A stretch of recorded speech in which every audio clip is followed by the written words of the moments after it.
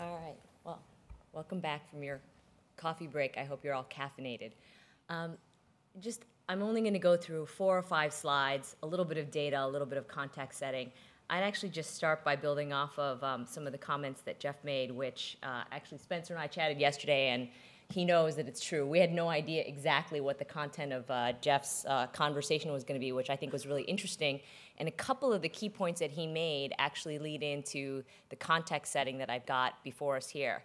So, first is I would just say, kind of going back in time, um, an, another part, this first slide, which really talks about the rise of the internet. There's lots of different data that you can look at. This happens to be from the United States, the 15 and over population. And what it says is that during the daytime, from 7 a.m. to 8 p.m., when um, in the United States, that's pretty much the only time people can be guaranteed with broadband access because we're still not quite there in terms of whole broadband penetration. The internet's uh, reach and the amount of engagement by the American population is actually larger on the internet than on television. And as you can see, even in the evening time periods, it's fairly competitive. So there's clearly a lot of bad news amongst us in terms of the macroeconomic environment, but I think one of the positive things that we can count on in this environment, in this very challenging environment going forward, and this touches on the 260 and the 180 dollars per month that Jeff was talking about that the average American household spends on communication and sort of subscription at home entertainment and communication services, broadband, cable, as well as mobile. That has historically been the one thing in an economic downturn that families are loath to give up. They cut sort of discretionary entertainment, things like going to the movies, things like buying more music. They tend to, uh, as a as for those of you who remember the 80s, I was at a board meeting last week and I mentioned sort of the one good thing about the internet audience, you know, ad dollars are going to be tough, spending is going to be tough, but at least we know the audience is really going to be there. People are going to be cocooning, remember Faith Popcorn. And the entrepreneur looked at me blankly and said, You mean the 80s? You mean before the internet? I said, Yes, before the internet. Remember that? Not exactly. Well, anyway, I think the analogy there is that the rise, if, if for those of us who remember, the rise of digital cable, um, which has been uh, in the 90s, but just in the penetration of cable, spending more time consuming more entertainment services at home in times of macroeconomic distress is something that we can look back to in other recessionary time periods. And I hope will be, from an audience perspective, one of the things that this audience and all of us can count on, um, at least in terms of engagement, which I think is the key metric. Uh, this is just a quick point to say that what does distributed media mean? Another not as nice way to say it could have been basically the deportalization of the internet. The top chart here shows look, if you just want a base reach, it still looks pretty good. You can get to 75, 78% reach of the internet audience if you just, as an advertiser, want to buy on the top three portals plus Google. But if you look at the bottom chart, the chart in blue, uh, what it says is that the engagement in those sites, which in the past has been 80 plus percent of overall audience engagement, is now, if you add up those four bars, it's only 20% of the engagement is on those large sites. And so that gets to sort of the context setting for what is distributed media and why should we all care. So part of it's been enabled by um, Google and guys like Suranga search as the new metaphor for how you find things has made it, on the one hand, much easier to find lots and lots of sites. So you don't have to start your internet uh, information or media experience at a portal in a very set pieces of tabs and here's where you go and here's what you do.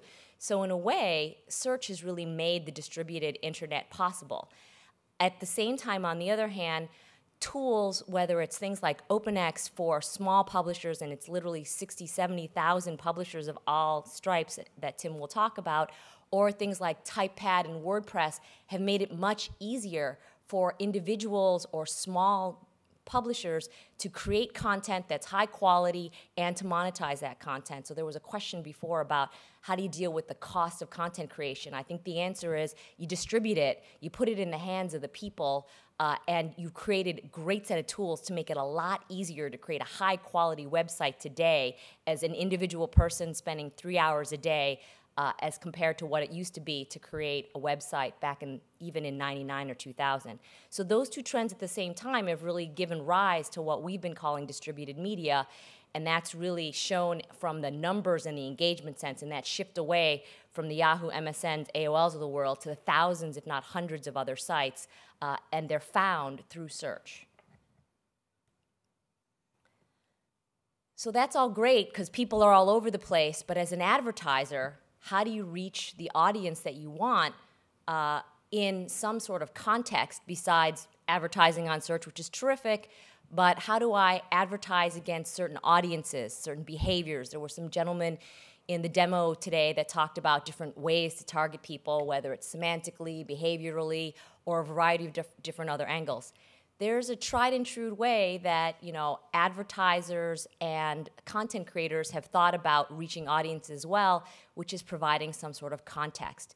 The idea of providing channelization, to use an old world uh, term, to the internet is another lens where you can take advantage of the highly cost-effective and distributed content generation of hundreds or thousands of publishers and creators as well as they provide interesting audience aggregation of your most interested, your most fanatical, to use the hockey analogy that was used before, fans, if they know to search out the 20 small blog sites about uh, the Montreal Canadiens or the uh, Quebec Nordique, I'm not sure if they're still around, then that means that they're really your hardcore audience. That sounds terrific. I, as an advertiser who cares about that audience, I want to reach them. But I'm not going to go and advertise on 100 or 1,000 or maybe even 50 sites, and each individual site is too small to be interesting.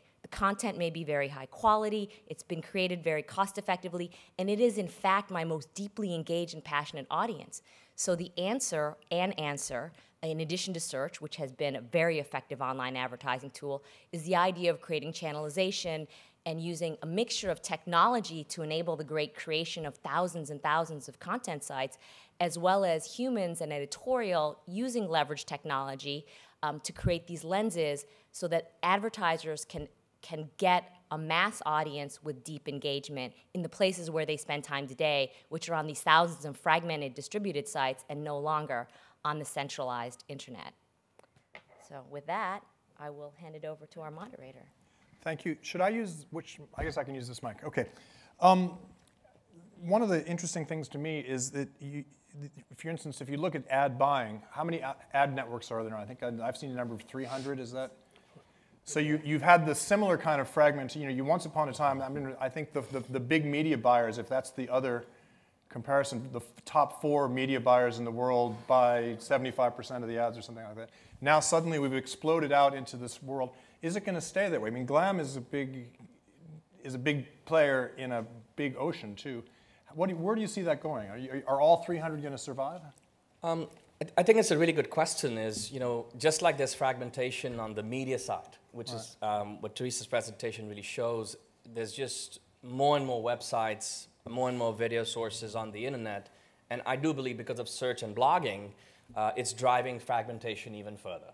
Um, if you look on the advertising side for a second, you know, when someone says there's over 300 ad networks, that sounds like fragmentation also to right. me.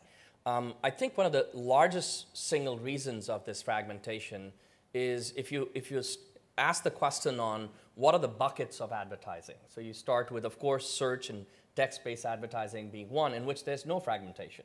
You know, you've got Google that has probably 70%, if not 80% market share of that space um, and no real contenders. Mm-hmm. Um, that represents roughly half of all internet advertising today. So, uh, about half of the advertising side on the internet, there's no fragmentation. And then the remaining two big buckets are um, the remnant ad display business and the you know, emerging social networks media business and the emerging vertical networks business. Right now, the biggest fragmentation is on the display ad network sites. And that's all to do with the remnant advertising networks because there's so many uh, networks chasing a very, very diverse and fragmented base with some form of direct response. So my, my belief system is I, I think sooner or later Google will bring its model of uh, text advertising also to, to remnant because that's a volume uh, game, uh, which will deeply consolidate that market uh, very quickly. And then the question will be, you know, who will be the dominant players in social networks and vertical networks? We don't see a lot of overlap um, with ad networks because we technically would be users of them, given uh, you know we're really on the premium side from but a you're a publisher too. I mean, in a funny way. That isn't that. I mean, are we seeing? I mean, I was talking with Jack Klues about this just before the panel Yeah. started. The definition of a publisher and an advertiser and a buyer, all these definitions seem to be completely up in the air right now. That, that question actually is really the question um, that encouraged me to get out of the venture business and, and really be full time on Glam. Uh, it was about three years ago, and uh, we were looking at the data from the usage of media on the internet. And what I found to my surprise was the only conclusion I could drive from the data was that the definition of media was changing. Um, and I think that's embedded in your question, which is media largely has meant a few branded titles or the hits business uh, on, you know, owned by a few media companies in which distribution is tightly controlled, either in print to, through magazine or book distribution or in television by number of channels. On the internet, because distribution is not controlled or controllable, uh, you end up with 160 million content websites today. So you can bring forward your definition of what is a media company. As we all know, till I think three years ago, most people did not consider Google a media company because they were either a search or an AdSense ad network. Uh, it's very clear they're a media company today. Suranga, you're, you mean you are in, in, in competing with Google in many ways. How do you, how do you, how do you characterize everybody else in the world and, and then Google in, in, that, in the kind of terms that, that he was just discussing? I mean, how, Yeah, um, I, I'm not sure I can um, stand up to the to the lofty height of saying that we compete directly with Google. Um, that, that that's a tall order for anybody. Um, the I- think the fragmentation and distribution issue is really interesting because on the one hand, you do have fragmentation. So if you watch people and how they use the web today, more and more of them um, start off on a page that's completely unique to themselves whether that's a Google results page based on a search, whatever they needed to look for right, right now when they first started the morning, or whether it's some kind of um, login page on a, on a Facebook or a MySpace or whatever else. Um, so in that sense, portals in the traditional sense are absolutely dying. Um, you know, people don't just go to yahoo.com or AOL.com as the first page and actually read all the stuff that's there that's designed for everybody or everybody in their region or wherever, whatever the, the vertical sort of slice was.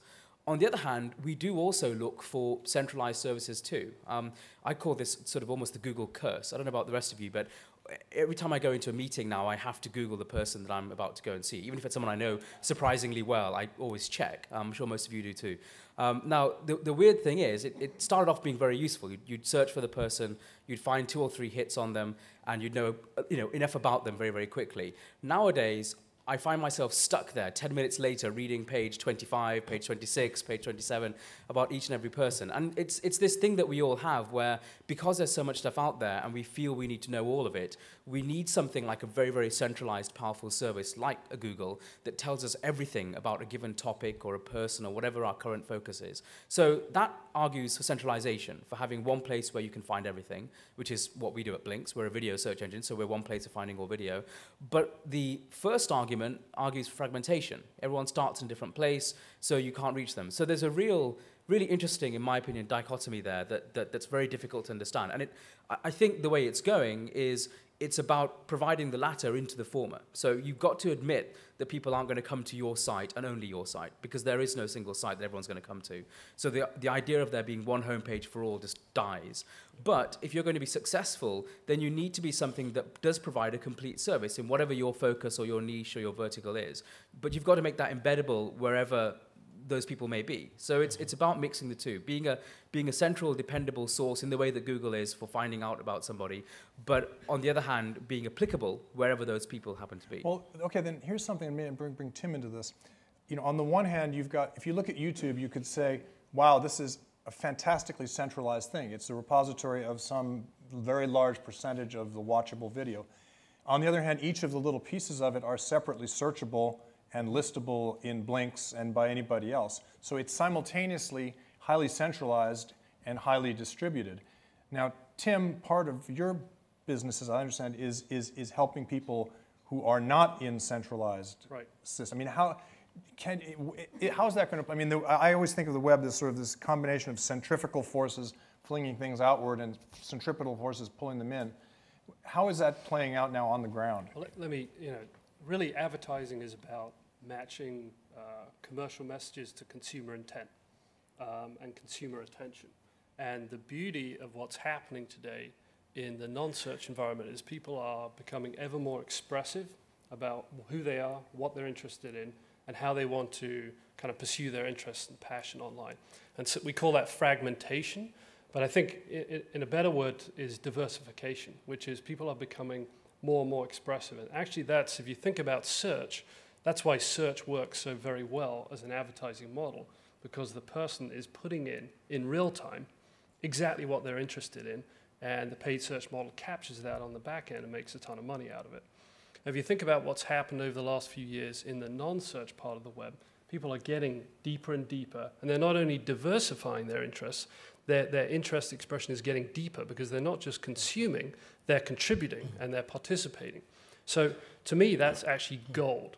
Gold is being created before our eyes in an enormous scale. The problem is that we uh, have not created the platforms on the advertising side to capture and monetize that attention and intent in the non-search part of the world. Well, wouldn't, wouldn't Samira say that, I mean, isn't that one of the things So this is, let me go to the question about ad networks. And I do think many ad networks will continue to prosper um, because what they do is they focus on certain segments and they focus on packaging. So in Samir's case, women and now men, and packaging those audiences, finding them across an array of sites, adding some value into them in the way that they interpret them, and then packaging up, those up for advertisers. So I think there is a lot of value in that kind of intermediary function. Um, what we're trying to do is pa- further package up audiences across the mid market and tail, and then allow intermediaries and direct buyers to buy an audience at scale across many of these smaller So and you medium can work with, Yes, so we would provide a service. In fact, we're trialing something with uh, Samir's company that uh, can help aggregate those audiences from a myriad of small sites and then allow someone to say, you know, I'm looking for active women interested in kiteboarding, and they may be on 35,000 sites.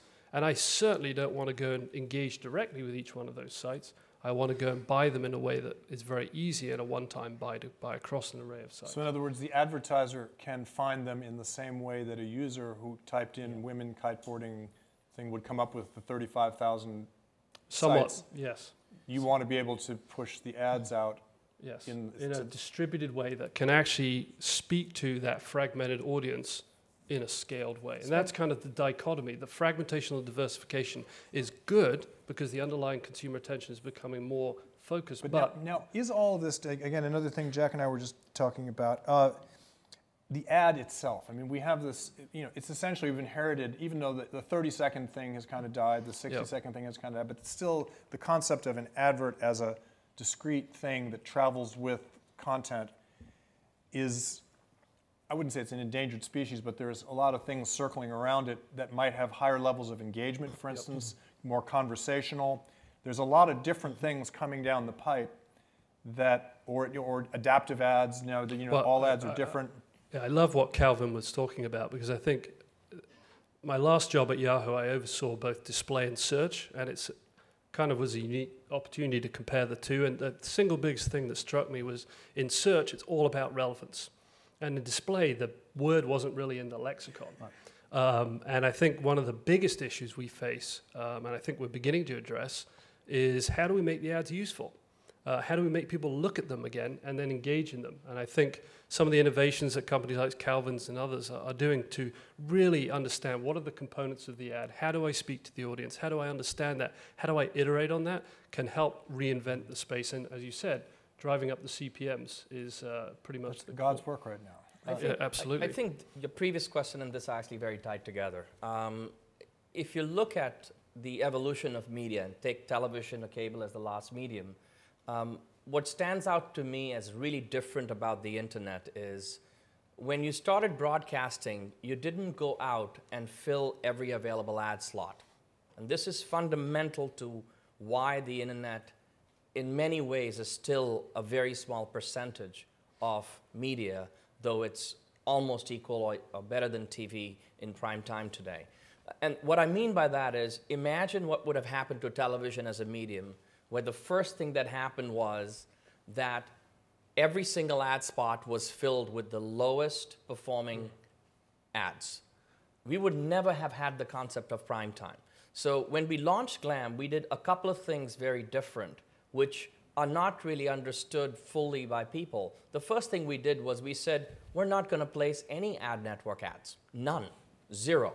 We're going to first find what's premium and prime time, and only when we do that will we start to look at the mass ads. So I think you know what he's saying, which is really important, is there's a vast number of companies, and there needs to be a lot more that will help the problem we've created, which is right now at least display ads, which are ad remnant, are put on sites with no regard to even the fact that there's no measurement that was the ad seen. Mm-hmm. You know, that, that's not a problem. T- television has overage, and you bake that in.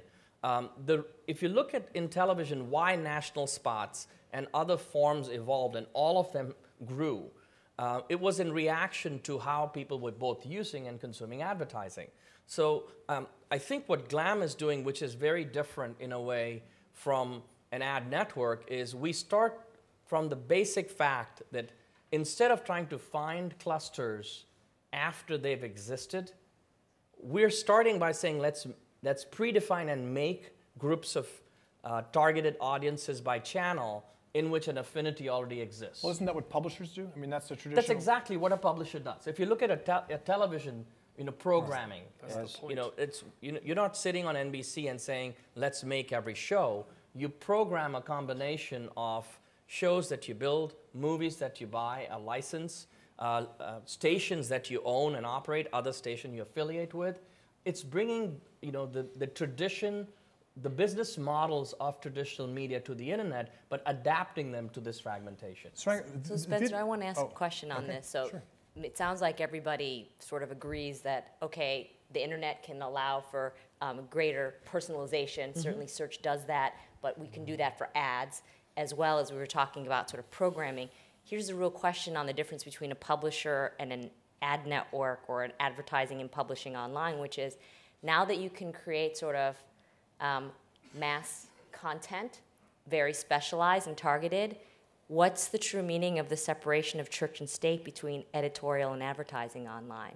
I think it, actually comes down to your total yield. I think the point you made is, is excellent. Look at a search page, go to Google, and you'll notice not every time do you get search ads at the top.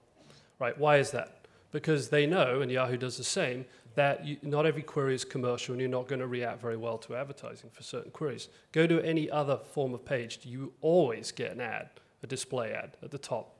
To, to Samir's point, you always get one. Fundamentally, the page templates aren't set up not to show an ad, so you have to. So even if you don't have a paid ad, you show an house ad.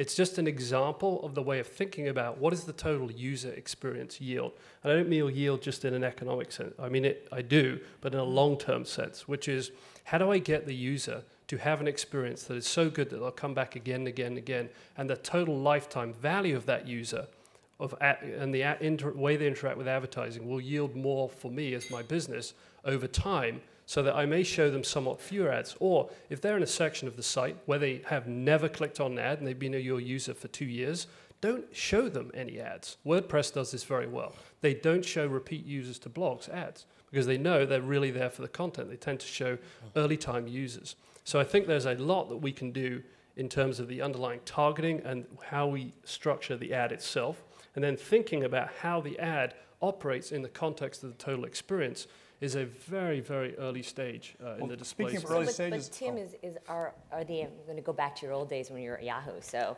Please the don't. paid inclusions, Yeah, is that an example of good or bad advertorial commingling? it depends on your point of view. That, that was a more controversial one. Um, I think it comes that comes down to, to relevance, um, and the key there is making sure that the even if the content is paid for, that it's highly relevant, that it stands by the same bar. Um, but I think we need to uh, measure advertising more by the standards of content, which is is this enriching? Is this helpful? Is this useful? Does this, you know, wow, does the advertising actually be part of the thing that brings people back to the site? Because if you think about the magazine world, you buy Vanity Fair and you buy Vogue, and I buy Backpacker because I like the outdoors. I buy it because I want a sixth tent, right? And I want to see uh, who's come out with a new tent, which I really don't need. Uh, just like you don't need a 20th dress, but you want to look at them. Um, so those experiences, we have some way to go. Uh, I think you guys are, are, doing a lot in that area actually to try and try yeah. And I think happen. the question is really uh, an important question. Uh, you know, and I, I, come from a very simple and simplistic point of view, which is advertising when relevant is highly desirable. I, there's, you know, even the previous speaker spoke about, you know, Super Bowl. Uh, you can't separate an event-based television in America uh, advertising from the actual content because it's such an integral part. Um, I think how the web will evolve is very similar, which is we saw in Web 1.0 um, sites, search, and portals as the main metaphors, so as to speak. If you look at Web 2.0, and you know, at some level, just distance yourself from all the technologies that are coming out. What the technologies are ultimately doing are driving the usage of you and us as a consumer to more and more sources of content. And my, my analogy would be, you know, you take the tent analogy or a spa analogy. In print media, you, you, you, know, you have a magazine like a Condé Nast Traveler. And they choose in an editorial schedule once a year or so when they think covering spas is most important. Uh, well, all women don't look for spas all at the same time. And that's the beauty of the internet that when you want to look for spas, you go out and search for them, and remarkable, only the articles come to you. So when Condé or NBC are, are looking at themselves and going, wait a minute, we don't like this because the consumer is not searching by brand of media first, which was the original question. They're searching topically. And what that does is it completely equalizes the power that was in packaged media because we go to all those articles and the authority part of media, which is a very interesting. I just looked at some uh, Nielsen TV numbers which said the web is the least authoritative medium, uh, all, only about 14% of all media, but it is the most influential medium already. And what that means is the typical authority of you know, books or magazines or curated content in terms of editorial has a very different meaning on the internet um, because you, you read it in a much more personal way. And I think that means advertising has to evolve with Web 2.0. It's almost like you need web, advertising 2.0 to understand that. I was, I was, just on that point, that's, that's um, I, I, think what you're describing is, is editorial, right? So mm-hmm. um, the, the point is, um, just as um, you know, an editor will pick great articles for me for a particular magazine or newspaper, and that's why I'll associate yes. with that brand and read that magazine or that newspaper. They actually are also very good at picking advertising that will work That's very correct. well with me. I mean, sort of, you know, of course, there's a commercial element there, and, yep. and a higher bidder will sometimes win and so on, but fundamentally, that's what's going on. Now, you can do that in a very scalable way on something like search, because the, the fundamental unit of choice is very, very simplistic, right? It's this keyword. And you actually open it to the, to the audience, sorry, to the, to the, to the advertising network, of, of, or the network of advertisers, I should say, who select themselves where they want to be. And then there are algorithms which decide when it's less or more likely, as, as you pointed out, Tim. But it's difficult to do that in a, in a, in a way for non non-product oriented or non-direct marketing oriented marketing, right? So how do you know that if you get someone like Tim who is looking at you know fancy tents and, and likes that kind of thing will react will react well to you know a particular cool new Swiss yeah. watch that is aimed at people who have a sort of an adventuring mentality. Now, yeah. it's not a tent; it's not directly related, but it might fit, you know, the profile that someone like him would fit, and that that's the real complexity, right? Because you can't. The, the power of Web 2.0 is the fragmentation, is the scalability, yep. essentially. The fact that there are millions of people doing millions of things. You see that with the, the, the news system that we saw earlier, um, social media, where, you know, to, to, the, the, argument there is you can't have editors for content anymore. You have to have the community editing for you, right? So who's going to edit advertising for that? For that so I think it, yes, it, it brings us to something that I think we are still all working out, which is the social contract with the user. Yep. So I think that the, the point that's come through pretty clearly is that advertising is going to drive the ecosystem. And the social contract on TV is pretty clear. you know, I get a lot of ads and I, I watch TV or I pay for cable. Um, but on the web, the ads that work best are the ones that are most targeted. And the most targeted means generally, you know, you want to know something, whether it's uh, aggregate or even personal information about the user. And I think we're still on the edge of working out how does that interchange work? Are users comfortable sharing a depth of information and getting much more relevant advertising, but advertising that some may consider intrusive? That, that kind of level of social Yeah. contract, I think, is still fairly nascent. I think it's one of the things we're, Well, talking we're about, I mean. Suranga is an interesting position because pro- I don't think it's unfair to say that video in general and video search in particular are among the most immature areas of the internet, the last things the, for a variety of reasons. At the same time, it's dealing in an area we call television that's actually pretty well known and very well charted. So you're simultaneously very leading edge, but there's a fairly well known idea about. How do you, what are you seeing in the years that you've been, been doing this? Uh, how, is, how are people's usages of video search changing, and how might that play into an advertiser question? Sure. Um, so um, the, uh, the the really interesting thing about video advertising is um, we've seen people come at it from both directions. So on the one hand, you have people who come at it from a classic internet direction, which is make it super targeted, super contextual, um, you know, very sort of direct marketing oriented. So it's it's basically you know fusing the consumption of a video with something a bit like a search ad experience. Um, we are very good at that. Part of our technology allows us to actually understand the words that are spoken in a video and the visual images that appear in a video. So um, if we, you know, hear someone mention the word Paris, we can immediately slap up an ad for, you know, Expedia um, cheap flights to Paris or a hotel in Paris or whatever else. Um, but of course, that's not really what you ever do with TV. You do sometimes, but generally speaking, if you move outside sort of, you know, shopping channel sort of territory, that's not the way television advertising works. Um, so the other way that people are coming at it is the exact opposite, which is the way you get TV advertising, which is, you know, we pick a generic um, a demographic or a particular channel of content, and we do classic branding advertising. So before you watch, you know, entertainment videos aimed at, you know, 20 somethings, you will get a five or 10 second pre-roll from Coca-Cola because Coca-Cola want to hit that demographic in this particular geography at the moment. And the, the fascinating thing is the two are colliding in the middle because on the one hand, people want the targeting and the precision and the sort of response that you get with search, which is, it's like a, it's a powerful drug. You know, once an advertiser gets used to that idea that I can only spend, I can spend money only on the ones that I know work, it's difficult to give that up. Um, but on the other hand, that doesn't, you know, doesn't let you capture that sort of the, the, the, the exciting sexiness that brand advertising can give you in a very, very, in a, in a very sort of undefinable way. It's a very serendipitous thing. You, you didn't know that you were looking for that ad, but actually you quite enjoy it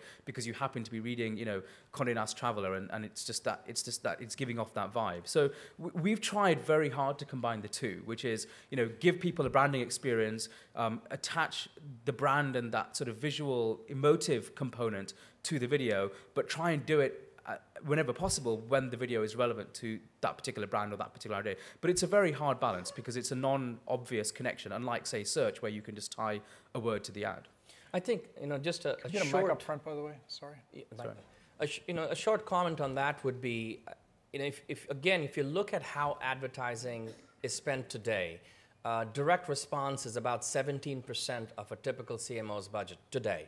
Um, if you look at the internet being at roughly 7% of total spend, with Google being half of it, and direct response display being the half of the remainder, that means 75% of internet advertising today is direct response based, which means the first phase of the internet is really moving classifieds and direct response, middle of the night advertorials from San Diego in America, if you know what I mean, the 1 800 calls. That's what's moved to the web.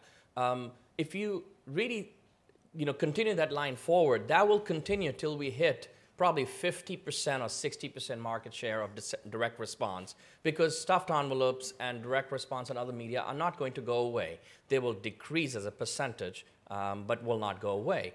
Um, the 70% of where ad- advertising is spent in traditional media is in, in brand response. And the reason is very simple. If someone is asking for a car dealership by zip code or postal code for a BMW, it's actually very, very hard to have their brand preference switch to buying a Volvo, for example. And if you can, it's probably just price based. So, those things, as most marketers know, work only at the end of the funnel.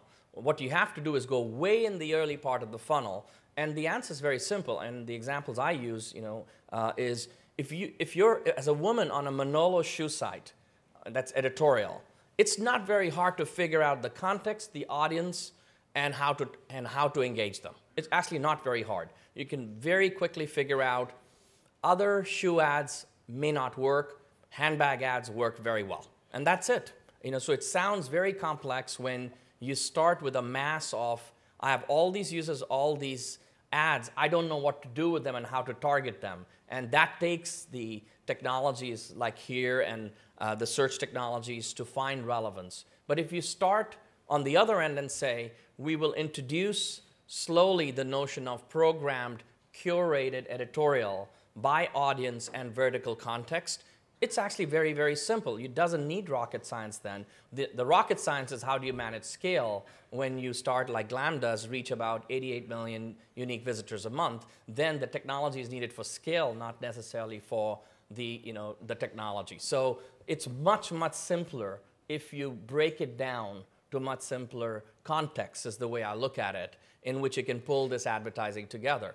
Um, and the response to those ads is incredible because people feel understood that they're in these content sites with advertising that also recognizes and validates you as opposed to give you the you know the first ad you see of hit the monkey or punch the monkey invalidates the entire premise uh, and the equivalent would be open the new york times and you see a cartier ad you see a louis vuitton ad and right at the bottom would be punch the monkey imagine what would happen to new york times if they did that today it would be very hard to ever get the cartiers back right that's the problem with trying to do it ad hoc. You've got to separate these out. I'm a big believer. If you're premium, be premium. If you want to be Walmart, be Walmart. Don't be, don't be in between. It's very hard to be in between. Okay, we got, uh, we're out of time. We got time for one question, which Esther's going to do. Okay, I, I want to re-ask Teresa's question because I don't think she got an answer, but I also want to, to broaden it slightly. You asked, so what's the difference between editorial and advertising? And to me, the most important thing is there's a real distinction and everything is okay as long as the advertising discloses that it's advertising. But I think, think the question that really faces all of you that I haven't heard anything about is, is the fact that we're still talking about advertising stuck in the middle of editorial or snuck in perhaps through the editorial.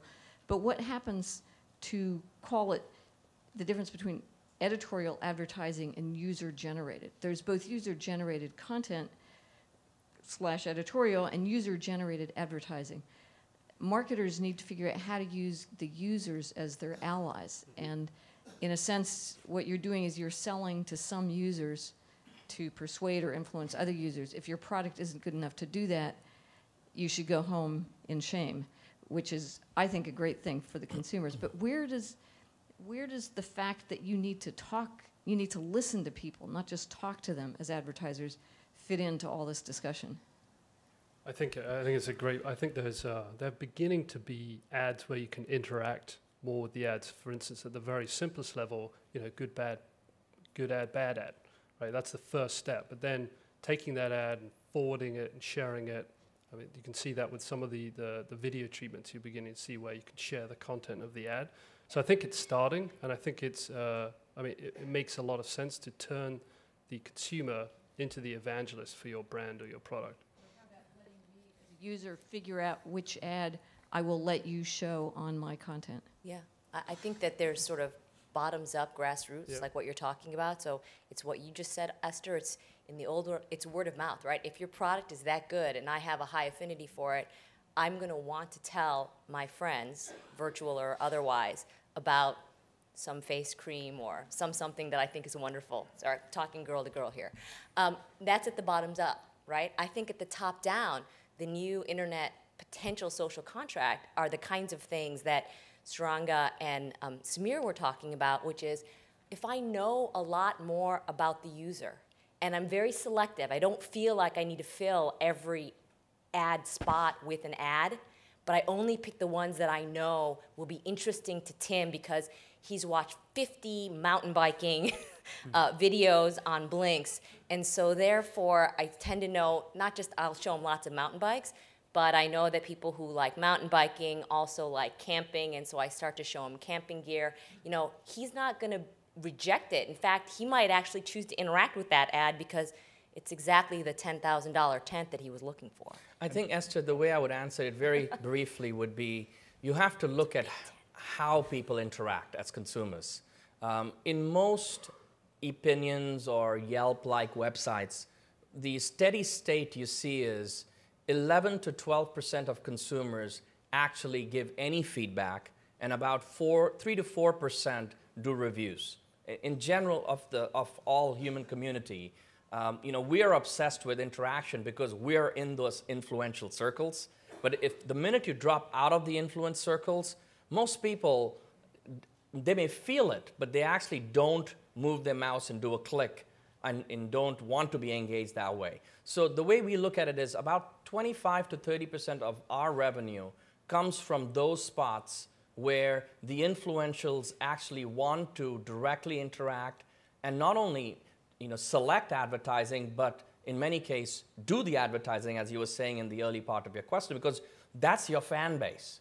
Um, I think for marketeers, um, influential marketing, which is a very deeply interactive, is very critical on the internet because the influentials have moved to the internet. So that's the way I look at it. And these influentials have got to get off the stage so that the next group of influentials can come up as quickly as we can because we're going to be behind. So thank you, panel.